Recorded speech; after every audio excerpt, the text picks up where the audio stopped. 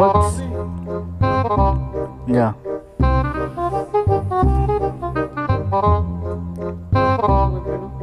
Murag ya pukul sa ati bay. Murag ya pukul sa ati ba? Purma.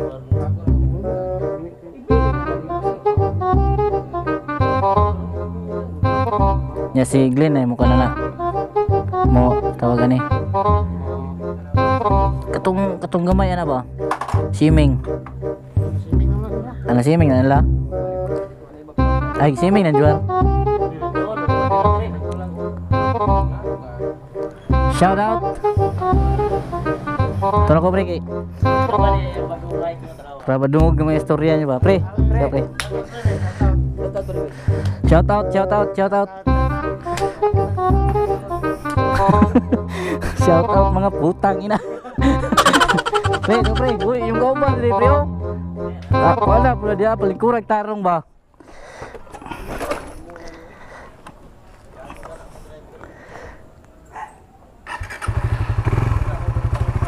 Hello. Buknoy, baligsan ka.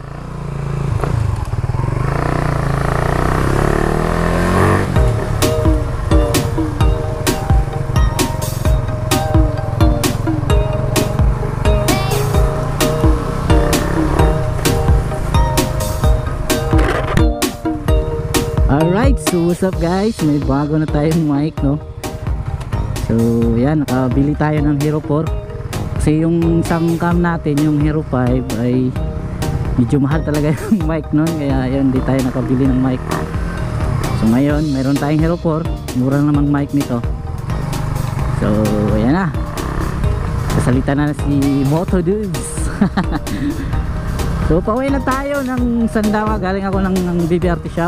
Uh, Shoutout nga pala sa mga Grupa natin doon no? Sila paring Glenn uh, Paring uh, Manman uh, 3GM Saka si Priusi Kilowa.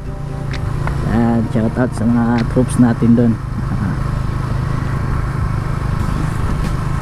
So pauwi na tayo. Ngayon sa Ubaldi yan, tinry ko lang tong mic natin kasi bagong bago talaga na Kibali bago pa ako nakapagbalik ng ganito na may mic no? Nga, yun nga, yung isang Hero 4 natin nasira.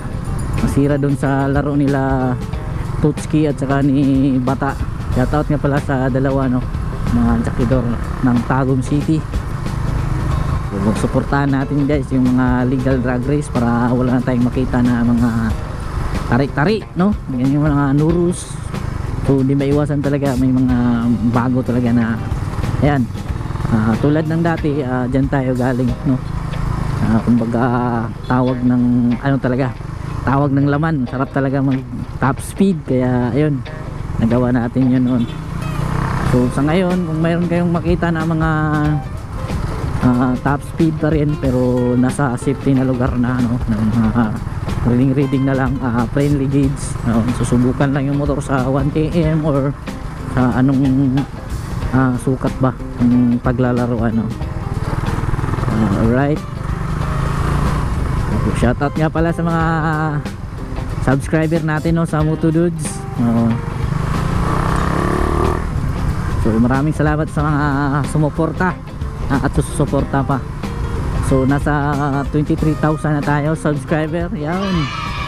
Ah, medyo dalawang taon na yata tayo nag-vlog. Eh, ganun talaga, hindi ta naman tayo ganun ka galing mag-vlog or mag ano ng video, mag-edit kasi ayan lang ah, yung pagba-vlogging kasi natin ah, ano lang to is yung may ano lang may time kasi may trabaho naman talaga kaya ayun di ma medyo natutukan kaya ayun medyo Ah, matagal din yung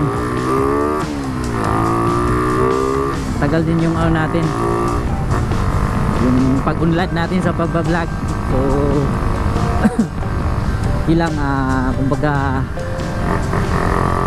uh, bablog lang natin yung mga hilig natin para malay natin pagtanda natin may mga babalikan tayo mga memories. So at saka yung mga ibang walang cam may record natin yung mga takbo nila or mga uh, ginagawa nila. Right uh, yun naman talaga yung pinaka treasure talaga. So um, ayan ma pabidyohan natin yung mga ginagawa natin nung bata-bata pa tayo. Yun. Ah dito tayo sa Magsaysay Park dito sa ayan. Ah, dyan sa may Uyanggurin. Uyanggurin Street. Dito tayo sa tawag nito may Boulevard Hatchut Boulevard Shoutout din pala sa mga taga Banay-Banay, uh, Takuban, aking bayaw, si Luigi at saka si ano pala si Dudong. Shoutout kay Toyor. Uh, shoutout dyan sa mga tropa natin dyan sa Banay-Banay, sila Buskiar at saka sa Jackie na si uh, tawag dito si Kang Kiro. Shoutout kay Kiro no. Kiro on board uh, sila Dax shoutout sa mga katropa ko pala no ng mga vlogger shoutout nga pala Street Superman Mel Tidy Uro Dab No Rules at saka Mindanao Race uh, Blink Motovlog at saka Kamuti Rolls kay Choi no? uh, shoutout rin sa mga bagong motovlogger at saka sa pinakaludi naming vlogger nga pala shoutout sa uh, tawag ito kay ano kay kay Boss King at saka kay Chong Jove no, sa GG Project saka sa lahat ng vlog ng taga Davao no Shoutout si KS, KS at saka Pulgas. Shoutout na rin kay Bibi, kay Glenn Dali, no? Shoutout. Ayan. Chill ride sa gabi tayo tapos shoutout. So, ayan, Paskong Pasko pa sa Davao, no? Hindi pa natanggal yung ano man dito, mga uh, star. Ano Tagalog sa star. Parol, yun. So, may mga ano pa talaga. chill lang tayo no? Yun sa mga nagko-comment sa youtube natin shoutout na rin pala. Uh, pasensya na pala sa sa page natin. Hindi, na, na tayo masyado nakapag-update no ng mga video kasi wala na talagang video guys.